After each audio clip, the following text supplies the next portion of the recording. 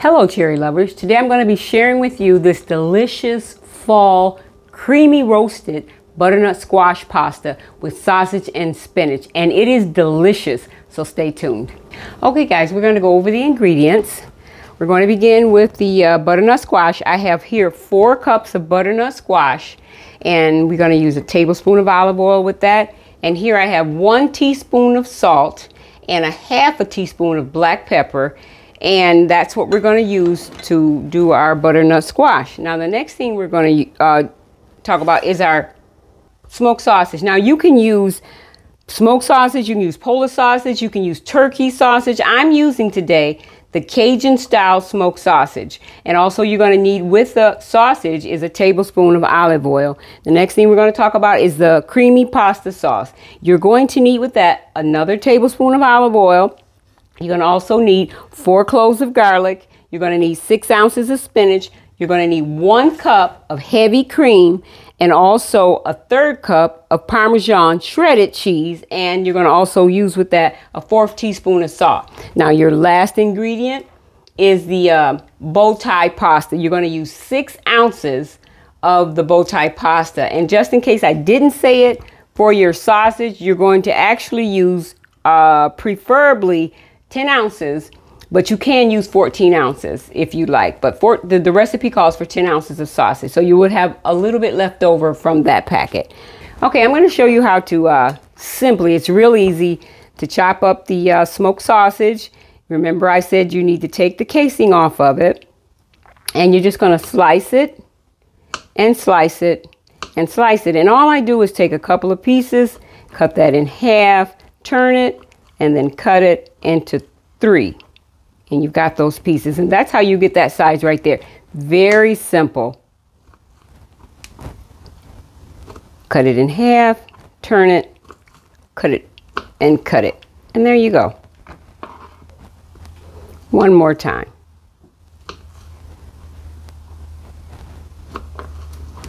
Very simple. And that's how you do your sausage. Your smoked sausage, just cut up in those little bitty pieces. Okay guys, the next thing I want to show you is the size of your butternut squash pieces.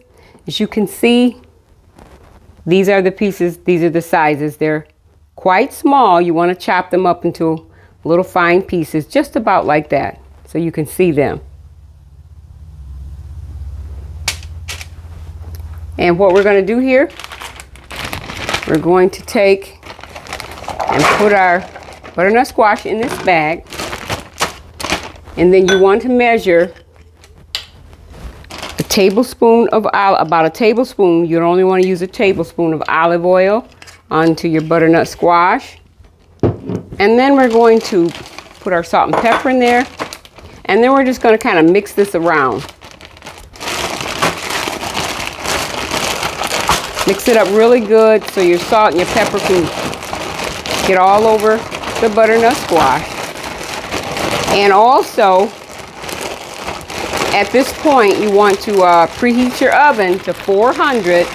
So while you're doing this, your oven will be coming up to temperature. 400 degrees. And as you can see, I have this pan here. You can get, make sure you get a pan where you can spread out your butternut squash. You don't want it to touch. And if it is touching, uh, too much, just get you another pan and put two pans in the oven. So you want to spread this out. Now the point of all of this is so that your butternut squash can kind of get a little bit browned, a little crunchy so that it won't be too soft. It's okay if it's soft. If you prefer it not being crunchy, that's perfectly fine. But that requires you to spread it out so that they won't touch too much and then it, it can be browned it'll be a little bit crunchier, a little bit with a crunchy topping or a crust on it. Okay, so we've got this on there. And you spread that out. And I, if you use four cups, you might need two pans because that's what I usually have to do. Four cups. You can just put half and half. Now, when I'm done with this, I'm going to pop this into the oven for 30 minutes. you can set my, I usually set mine from 25 to 30. Just make sure you watch it after 25 minutes. And you don't want it to go overly brown, but pop it in the oven for 25 to 30 minutes and then I'll show you what to do from there. And one more thing before he cuts it off. I have a pot of water here. While you are baking this in the oven, you're gonna turn your, um, uh, put your, get your pot ready. So you already have the water, that's one less thing you have to do, but you don't have to actually turn the pot on until you take out your butternut squash until your butternut squash is done. Because if you have to do two uh, pans, you might have to only have room in your oven for the first 30 minutes. But I have room in my oven for two pans, so I can do them at the same time. And then while you're, um, once you take this out, you're going to make your pasta sauce. And while you're making your pasta sauce, you will then turn your oven or turn your pot on for your bow tie pasta because it's only going to have to cook about 13, 14 minutes. Okay, I'll be back. Okay, now we are 15 minutes in on the butternut squash. So now we're going to start to assemble this. So by the time the butternut squash is done, we can add that in and we'll be done. First thing I want you to do is turn on your pot for your bow tie pasta. I've turned it up on high to get me a nice boil going. And uh, next we're going to start making our pasta sauce. First thing you want to do, let me say this. We have um, our smoked sausage here, a lot of smoked sausages are already pre-cooked, fully pre-cooked. So if you have, if you're using the fully uh, cooked sausage, you will not need a whole tablespoon of olive oil. Use just a few sprinkles, which is what I'm going to use. Turn my eye on, turn it down to about a medium, and we're just going to sprinkle just a few drops. That's probably about a little less than a half a tablespoon. And then we're going to switch this around, let that get hot.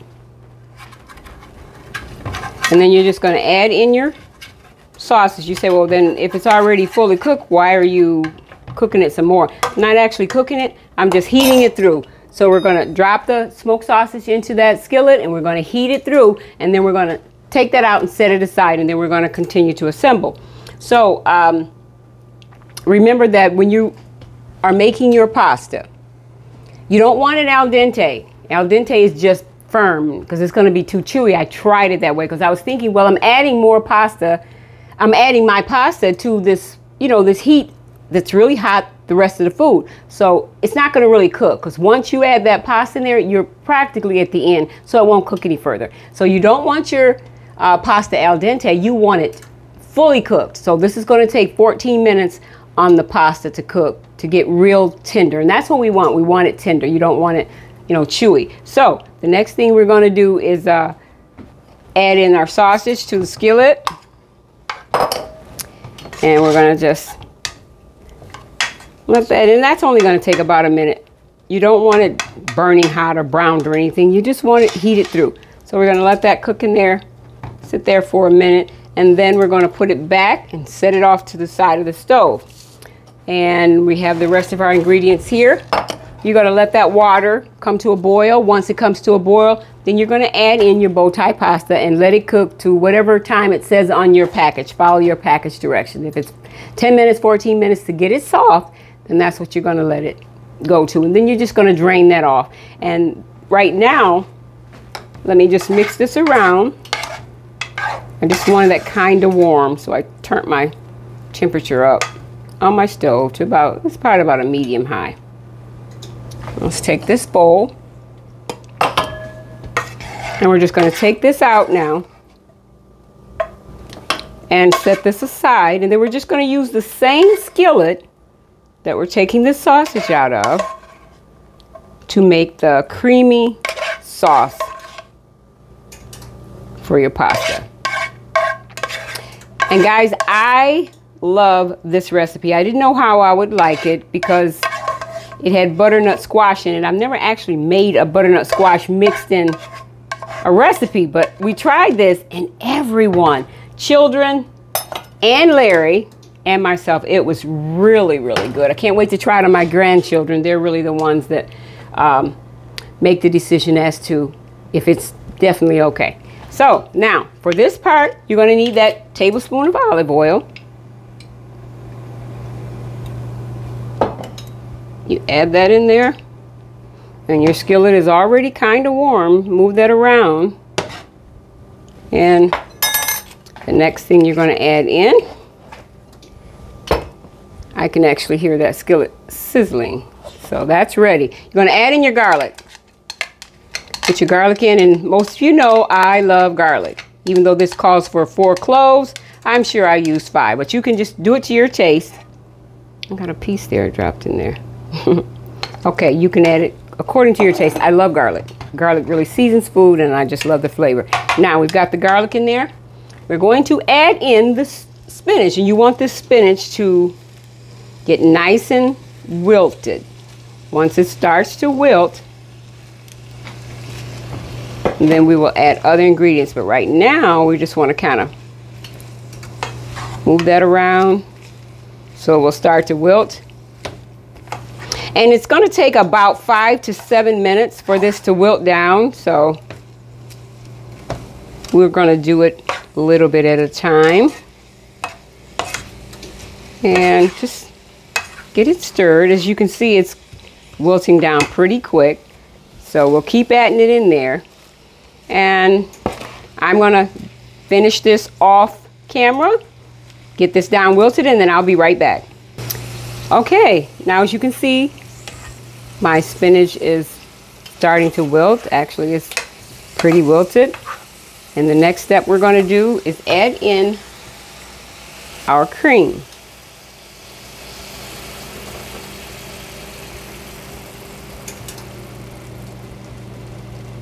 Okay. You just want to get that stirred. Get that cream pretty mixed up in there. Now what you want to do at this point is bring this spinach to a quick boil. But a brief boil. You don't want it to boil for long periods. You just want to bring it to a boil and then we're going to turn the heat down to a simmer. But we're going to turn that up just a bit to get it to that brief boil. Let's make sure our spinach is completely covered. And once it comes to that boil, that is the point that we're going to uh, add in our cheese. But right now, guess what? Look here. That pot is come to a boil. So what we're going to do while we're waiting on that to come to a quick boil, we're just going to add in our bow tie pasta and we're going to uh, let that cook for my recipe calls for 14 minutes but I'm going to set it on 13 minutes because I don't want it to overcook and we push start there now this has come to that brief boil you want to turn this back down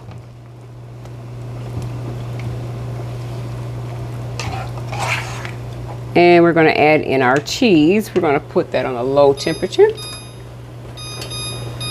All right. Now we've got our... Now let's talk about this cheese. We don't want the green container of cheese. We want the Parmesan freshly shredded. Well, we know if you buy it in the store, it's not freshly shed, freshly shredded. But you don't want the powdered Parmesan cheese in that green jar. You want the Parmesan cheese that is actual shredded cheese. And you put your cheese in there and you just stir that up. Get everything nice and mixed.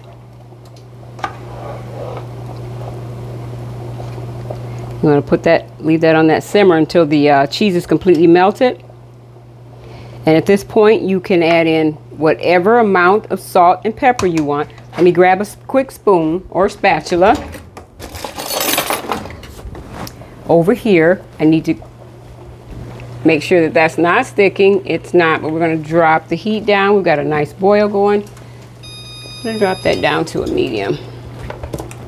Okay, let's get this cheese nice and completely stirred. And it's time, guys, believe it or not, the time has gone by. It's time to remove our butternut squash from the oven. And I'm going to do that and I'll be right back. Okay guys, I just wanted to show you about what this looks like. This is the first pan. I have another one, but it just looks like it's got a nice little crunchy coating.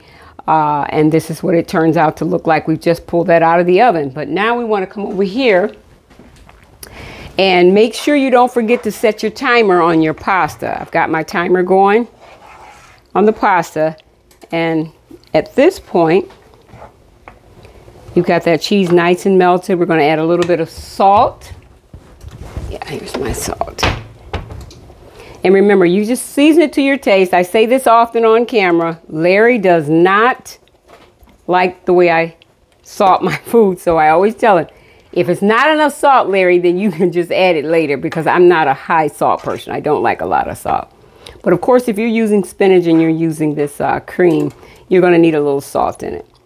And don't forget, though, that you've got your sausage, and the sausage usually has sodium in it. If your um, sausage is kind of salty, then you will use a little bit less salt. But just do it to your preference, okay?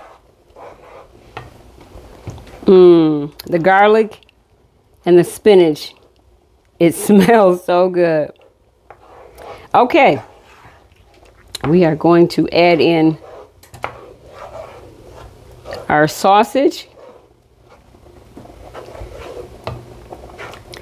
to this. And we're just going to stir that up. Get it nice and mixed.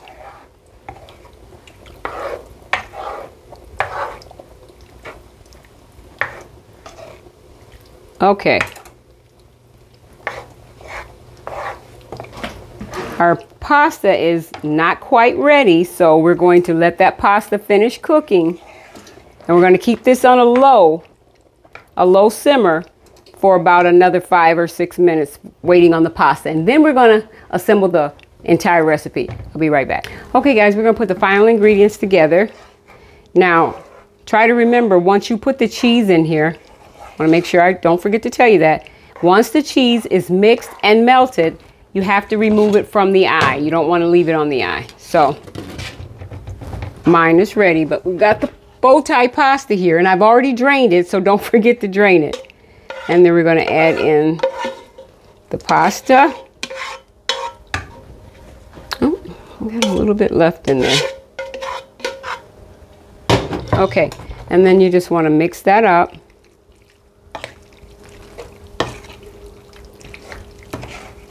And I have here the two cups of butternut squash that I cooked, that I baked in the oven. So what you want to do, you want to take half. You don't have to measure this. It doesn't have to be perfectly measured. But you want to put half of it into your recipe. Just about half. And then you want to mix that up. Kind of fold it. You don't have to, you know, stir it a lot because you don't want to overdo it.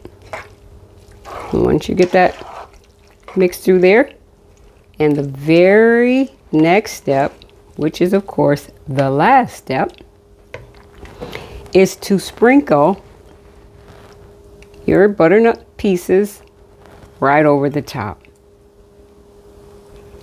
I'm going to take that out. Put that around.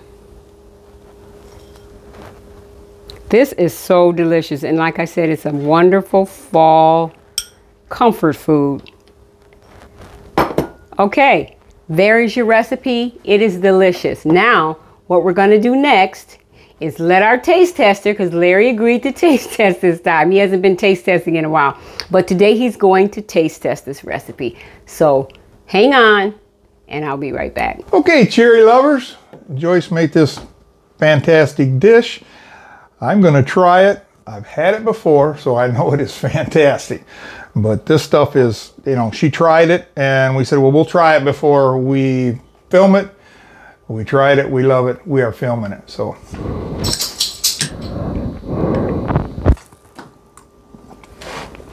Wow. Delicious. I mean 100% delicious. We love doing these videos with you. If you guys like this video, hit that thumbs up right there. Come back and see us. And as you can hear in the background, our buddy likes this so much too, he wants some of it. So like and subscribe. Come back and see us. Joyce loves making these videos, these cooking videos for you. She wants you guys to come back. So until next time, we'll see you later. Bye now.